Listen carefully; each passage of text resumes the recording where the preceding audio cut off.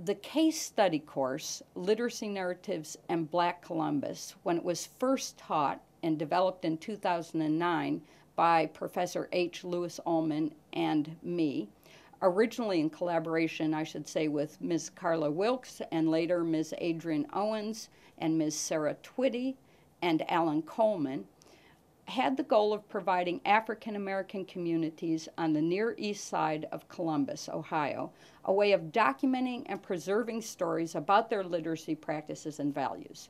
People would tell their own stories, we hoped, for their own reasons, and then preserve them in the Digital Archive of Literacy Narratives, the DALN, and use the stories for a variety of purposes.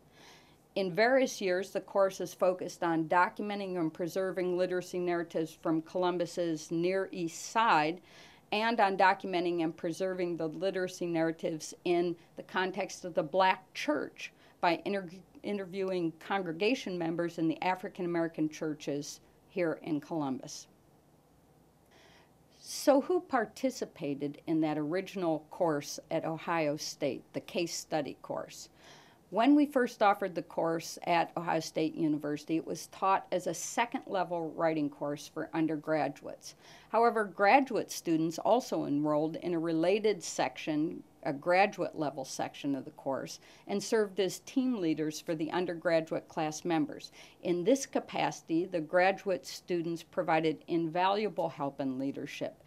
They helped teach the undergraduates about the importance of the project they help them learn how to interview individuals, how to record and preserve narratives, how to communicate with community members, how to act as responsible and respectful field representatives, how to keep clear records of their work, how to share their work with community members, and how to identify the lessons they learned through these efforts.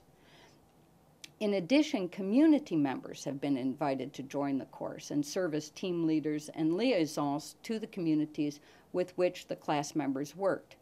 When the class focused on documenting and preserving the literacy narratives of black church members, for example, the course partnered with local African American churches in Columbus, Ohio.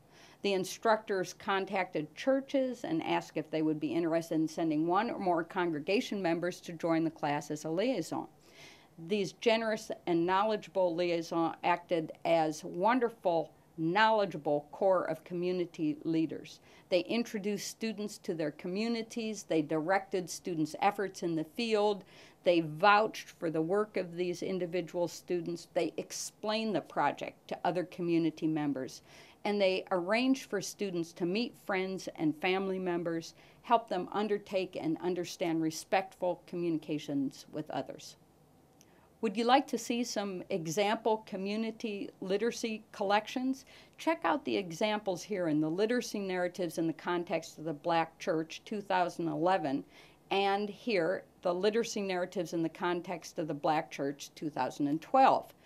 Both of these collections were contributed for the case study course taught at Ohio State University. This collection was made by H. Lewis Ulman, one of the original founders of the Digital Archive of Literacy Narratives.